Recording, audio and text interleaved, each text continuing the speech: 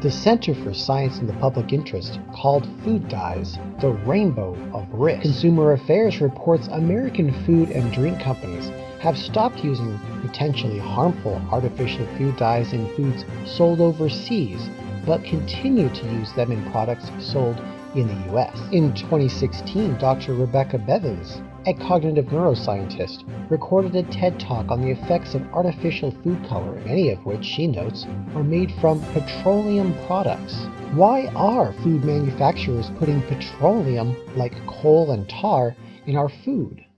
It all started in the late 1800s.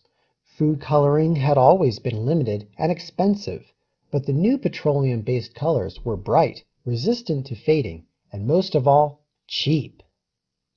A number of safety standards and tests were made to control consistency in uses and production in the years that followed, up through the 1930s. Many of these colors continued to pass safety standards put in place up until the 1960s and 70s, where cases and research simply became too controversial to continue their use. But many are still used today. Why? Because at this point, we, the consumers, have been taught that food should look a certain way. And manufacturers note that if they didn't use them, people wouldn't buy their products. But that's sort of the trouble, isn't it? The more dyes are used, the more we expect them. The more we expect them, the more manufacturers use them.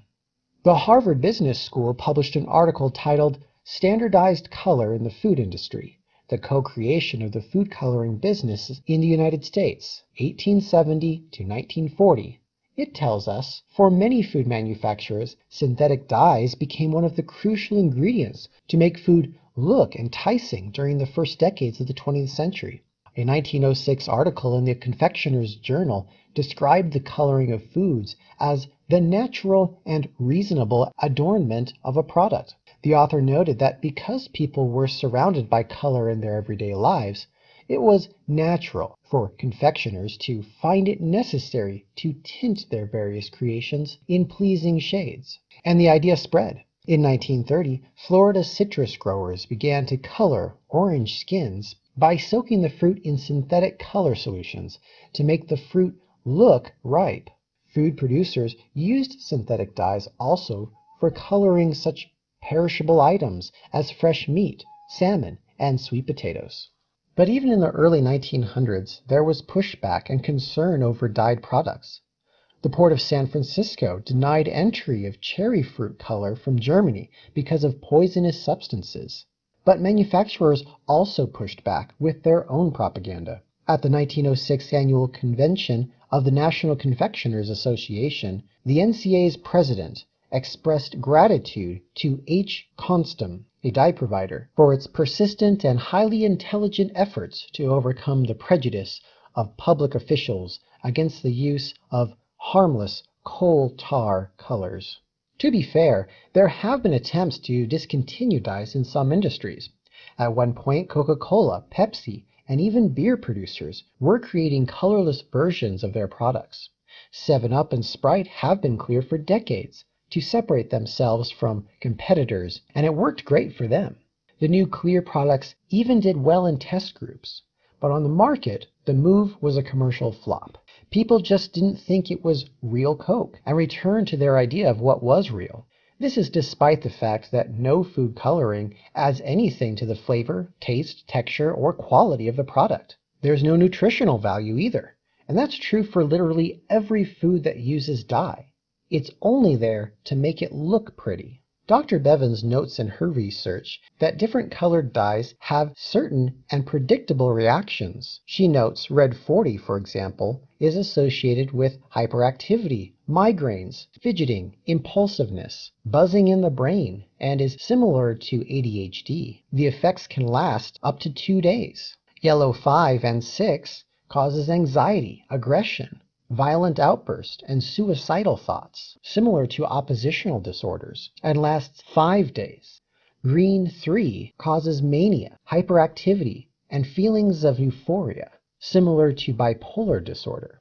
The effects can last around 12 hours, according to her research. Blue 1 causes irritability, moodiness, and fatigue, and lasts 24 hours. Dr. Bevan's research also noted that 7.5% of children between the ages of 6 to 17 in the US are on some sort of behavioral medication. That's 4.5 million children. 11% have been diagnosed with ADHD, and 14% will develop some sort of oppositional or defiant disorders. Ironically, many medications for behavioral problems contain these same artificial food colorings. But this is just the doctor's own observations from work with her son. It does not constitute a comprehensive study. And although some research supports her claims, not everyone agrees. Or maybe it's just the problem is harder to deal with than it is to ignore.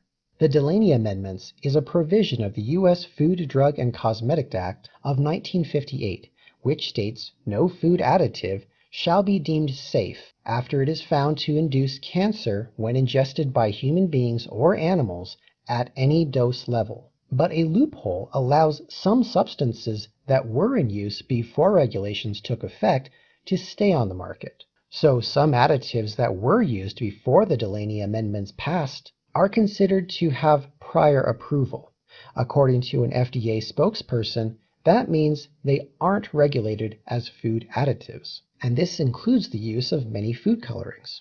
So what kind of effect does this have on our community? In comparing different nations and their respective numbers of behavioral disorders, like ADHD, and their association with food coloring, the United States has a rate of about 11%, about seventh in the world, of children to young adults being diagnosed with the disorder, according to the Center for Disease Control and Prevention. The United Kingdom, which has banned the use of petroleum food dyes, has a rate less than half the US, at about 4%. Food colorings are banned in Norway, Finland, France, Austria, and the UK, and the European Union requires the coloring agents to come with a warning label when sold in stores that says the dyes could cause, quote, an adverse effect on activity and attention in children. The Norwegian patient register for the years 2008 through 2011 reported ADHD at 2% for children and youth. A 2011 study found that French children also have an ADHD rate of about 4%, similar to the UK, and Finland, along with Japan, was noted as having the lowest rates of ADHD in the world, according to a report by the U.S. National Center for Biotechnology Information. And while Japan hasn't restricted the use of artificial dyes beyond 1, yellow 6, Japanese society and food culture is much different than Western countries, and even have companies that have pioneered natural food dyes derived from such produce as red cabbage since the 1960s, practices not adopted by Western counterparts to any significant degree. So isn't it interesting that every country that has banned the use of artificial food dyes has a rate of ADHD and ADD less than half that of the US or other countries that also continue to use artificial food dyes.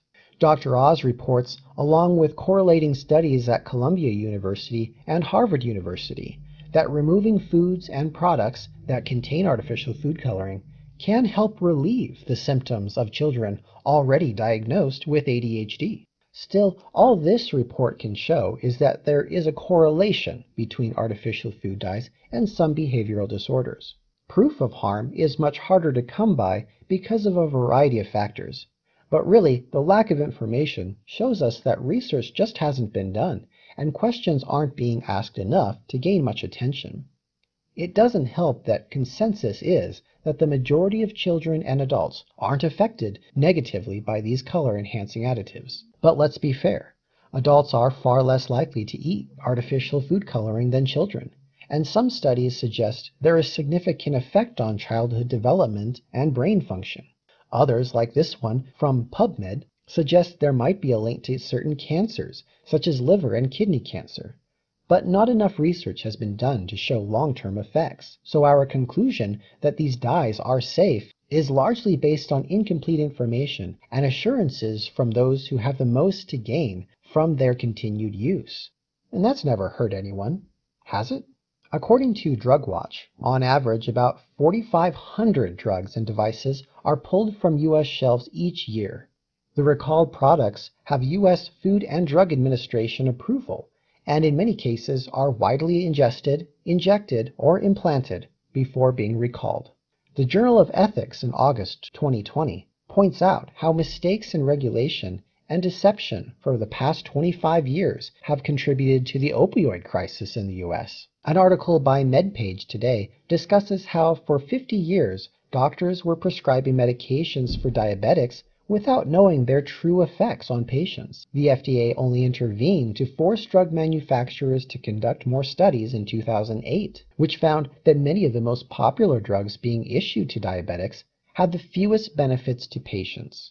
But the FDA's policy change only occurred because of their own misinterpretation of data. So even though the change was necessary and transformed the industry just in the past decade, it only came because of a mistake what seems like common sense, a normal safety precaution that we would all normally expect and hope would be taking place without our asking, could have easily gone on ignored and rejected by the industry itself, even today, if not for an error by the FDA. In another case, in 1990, the FDA promised to take steps to ban Red 3 for all users, a dye known to cause cancer but gave no timetable for such action. It is still on the market and used in many foods today. Perhaps the ban's delay is partly owed to lobbying on the part of the fruit cocktail industry. With no adequate substitute available to dye cherries, fruit cocktail makers say their sales would drop by 40%. Over 29 tons of the color was certified for use in the FDA's 2006 first physical quarter. And these are just a few recent incidents causing mass harm to the public at risk for certain conditions. Another problem dye is Red 2, one of the original seven colors from 1907.